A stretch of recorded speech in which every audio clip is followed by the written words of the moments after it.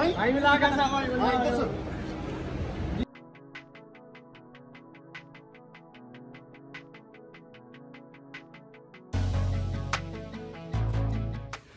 हाँ तो भाई बात कुछ ऐसी है कि आज रात मैं जा रहा हूँ कराची कुछ दिनों के लिए। तो ये ब्लॉग इंशाल्लाह कराची में कंटिन्यू करेंगे। और दूसरी बात ये कि मुझे दो काम है कराची में। तो फिर मिलते हैं इंशाल्लाह कराची में। और बाकी बातें वहीं पे चल के इंशाल्लाह करेंगे। चल।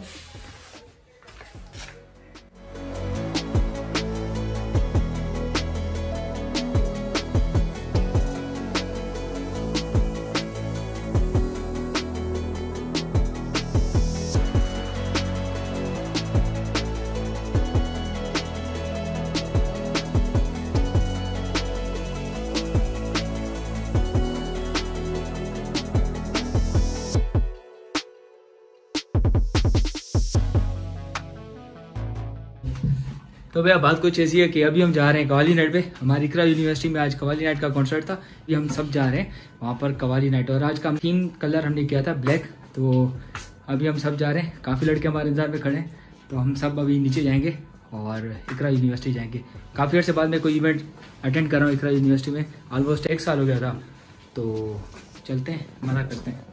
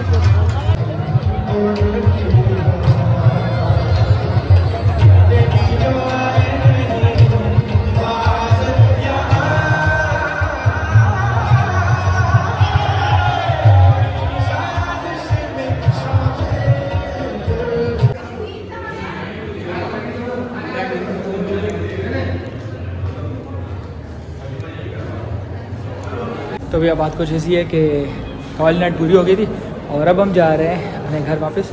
बाकी बातें चलते हैं घर पे चल के।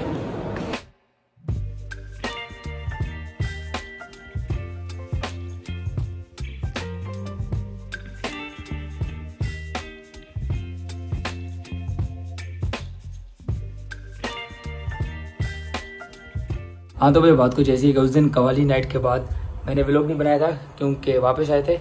और मैं दोस्त के पास चला गया था तो उसके बाद मैंने ब्लॉग बनाने का मुझे टाइम नहीं मिला था। और उसके अगले दिन हमारा क्या नाम है सिंधी संगत का महफिल का प्रोग्राम था आई I मीन mean, कल की रात और वो भी अटेंड कर ली।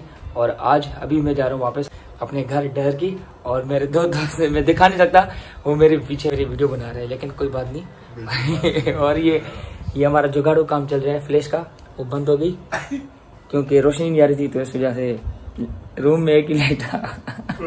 तो जो तो अभी मेरी कुछ देर में वापसी है डरगी के लिए और मेरी ट्रेन है सवा दस बजे खैबर तो उस पर जाना है।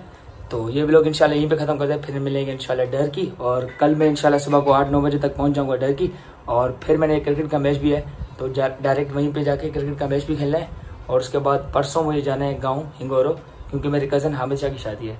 तो फ़िलहाल ये कुछ बिज़ी स्केजूल है मेरा तो इनशाला फिर मुलाकात करने के बाद में। तब तक के लिए अल्लाह हाफिज़।